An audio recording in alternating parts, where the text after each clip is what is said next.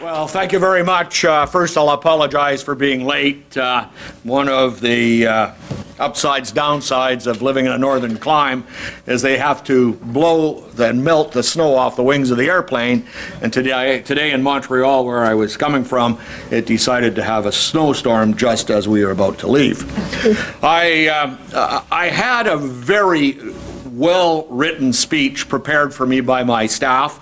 And so I'll apologize to them as well because I'm not very good at giving well written, prepared speeches. Um, but I do have uh, opinions on the subject at hand, and I must tell you, I'm humbled by uh, your presence uh, in this room. Uh, it is really gratifying to see this many uh, people uh, concerned about an issue that for many, many years our union stood almost by itself in opposition to the building of the pipelines from Canada uh, to the U.S. and now uh, proposed uh, elsewhere. Our union did, uh, by a convention mandate of all of its delegates, unanimously endorse and support the Kyoto Accord. And as uh, was said, our members are the workers who work uh, in the tar sands, in refineries, on pipelines, uh, and any uh, facet of the oil and gas industry. But our members in that sector said there's something wrong with this model and we need to address it.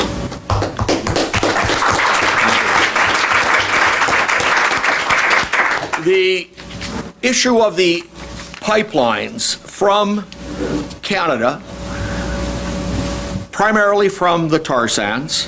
And I, well, I'll stop you there for a minute. Um, I've been there many times, and most likely not many you have had. Uh, there is no tar in the tar sands.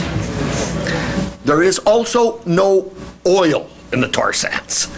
It has to be cracked. It has to be processed to convert it to synthetic oil that then gets refined.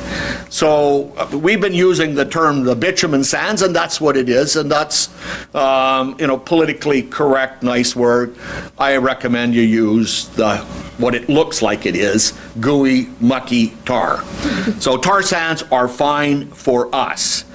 We have opposed the export of unprocessed bitumen tar sands to the United States for about eight or nine years now.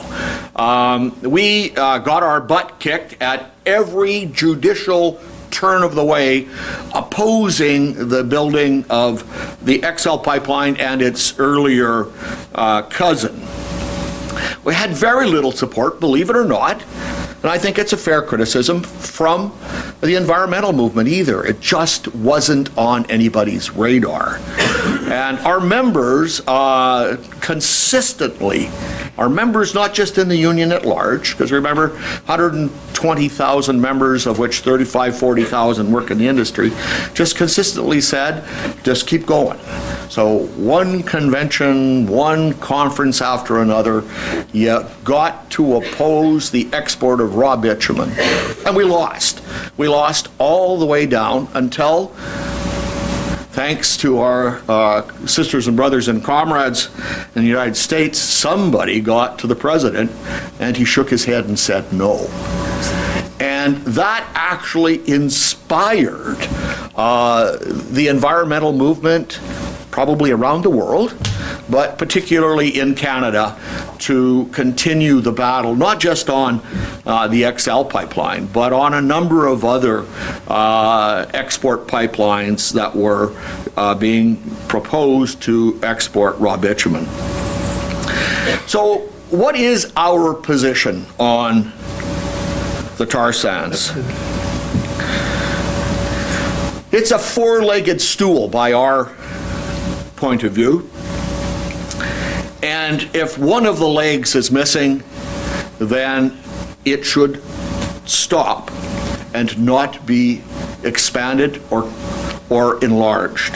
And those four legs of that stool, from our point of view, and I think we can make good arguments on all of them, are first, the export of raw bitumen is a job killer in Canada. Not much of importance to many uh, Americans, but it's a job killer in Canada, really important to us.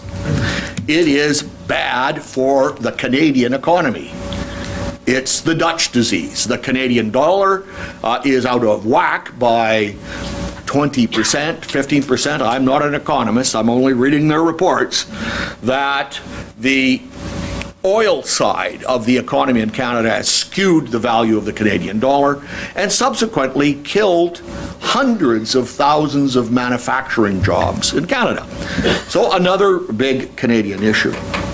One issue seldom talked about in the United States, and I, I would urge you to follow now on the web and Twitter. Our, and our point of view is that the oil companies and the Crown, country of Canada, has to come to terms with First Nations rights. We have a treaty system in Canada, and some. Thank you. It, it is a big deal. Watch now uh, for a group called Idle No More. And we have had uh, protests and arrests escalating over the last three months. Um, now because of a hunger strike by a Northern Canadian uh, First Nations chief around the abuse and the violation of First Nations rights. And much of that has to do with the building of pipelines through their uh, traditional uh, lands uh, and extraction on uh, in their territories. The Canadian government, in our view, has violated the Canadian Constitution by making changes uh, to uh, acts that govern water and uh, the environment that infringe upon First Nations. And uh, they're pissed off and are, uh, quite frankly, telling the Canadian people and the Canadian government enough's enough. And finally, the last stool of the leg is the environment. We cannot sustain the expansion of a carbon economy. I mean, my 10 and 11 and 12 year old grandchildren know that. I mean, they don't. They don't buy any of uh, the nonsense around carbon. They know we have to. We must uh, transition out of a carbon based economy to a sustainable, renewable, whatever the word green means. Um, we also represent a whole pile of forestry workers, and we have uh, some views on sustainable economy and the use of the forest as well, but I shall stick to the point. The environment is fundamental for those who work in the industry. And then the question is always, and I, I got to tell you that unlike the U.S., because the last time I was supposed to come and speak to this group, uh, a number of trade unions in the United States threatened to boycott the, uh, the not boycott, picket if I showed up. Uh, and so, you know, valor being usually not one of my best traits, but uh, I decided not to infringe upon the university's program and I didn't come. But in Canada, other than the, US based construction unions, the labor movement supports our position. The labor movement supports the position we're taking on the export of, of raw bitumen and, and transitioning to a green economy. We belong to an organization with the steelworkers, Steelworkers of America, a blue-green coalition that is doing tremendous work trying to convince and pressure the government and em- employers that we have to transition to a green economy. So we have good support within the political realm of the opposition in Canada.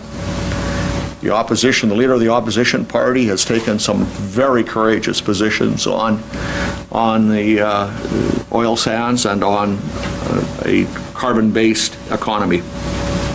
So what do you do with my dues-paying members who by a action of society, you, me, others, say we can't have a carbon society, we have to then look very seriously and realistically as how do you transition not just the workers, but the communities that were based on those industries into good paying, good paying, sustainable jobs.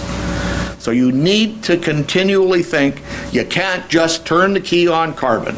First, there's a number of us in northern Canada would probably freeze to death. Um, you know, the, when you talk about transition away from carbon, there is some practical issues about how our nation was built. Uh, doesn't mean it can't be done at all, but you've got to think about the transition and a just transition for workers and their communities uh, when society makes the determination that it is about to make, I believe, that we have to uh, move away uh, from a carbon-based economy. Um, I don't support capitalism. I think it's a screwed up system. Some. well,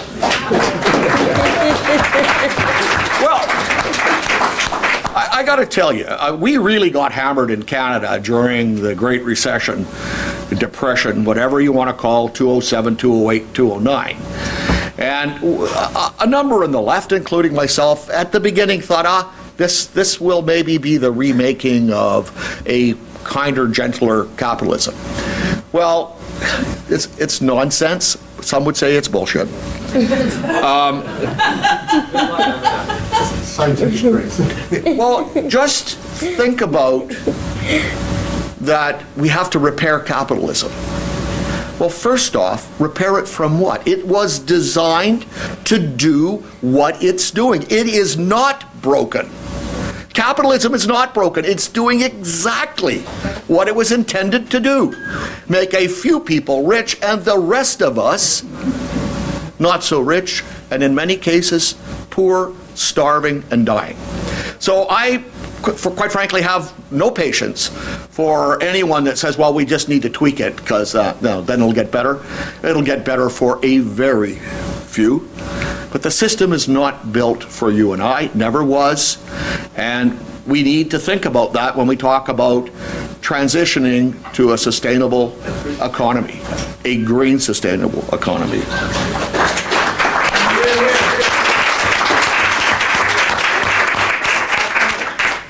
In my union, we lost in the forest sector well, it's between us and a couple of other unions, 100,000 forestry jobs in about three or four years uh, through that period of time. Uh, and when you lose your job in a one-horse town, you don't just use, lose your job. You lose your house because it was worth a couple hundred thousand. It's now worth some people were buying them on credit cards, $5,000. But you lose your community. Community can't function.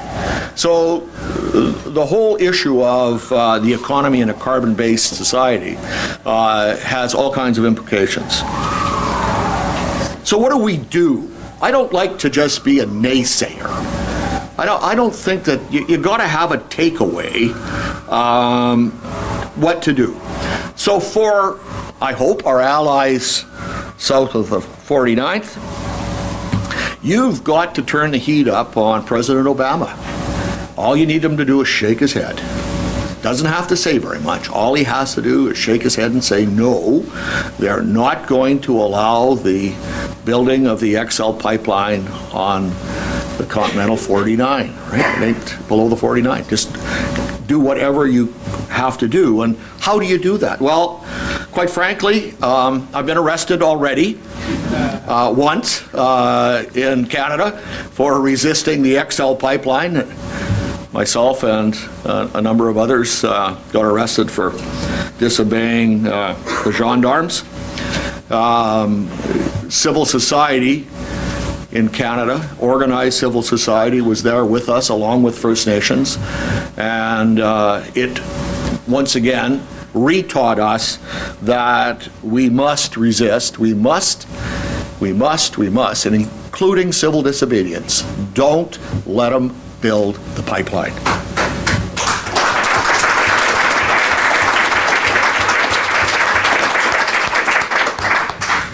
So what else can you do? Well, the regular stuff. Follow what's going on. Be informed.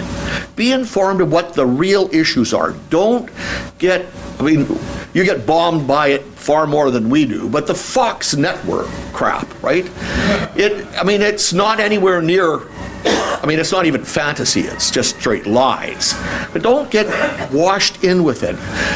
Be informed, understand, and talk about it. Talk about it in the church, wherever you are, that what is happening to North America around those pipelines and the use of carbon is detrimental to society as a whole, regardless of where you're from. And so you need to be able to speak out and speak out loudly.